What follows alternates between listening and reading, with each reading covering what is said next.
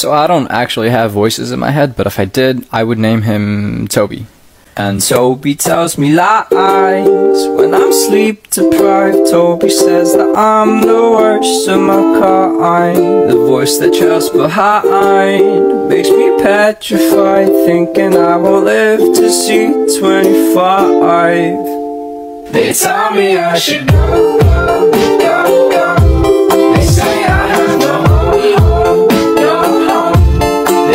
me I should go.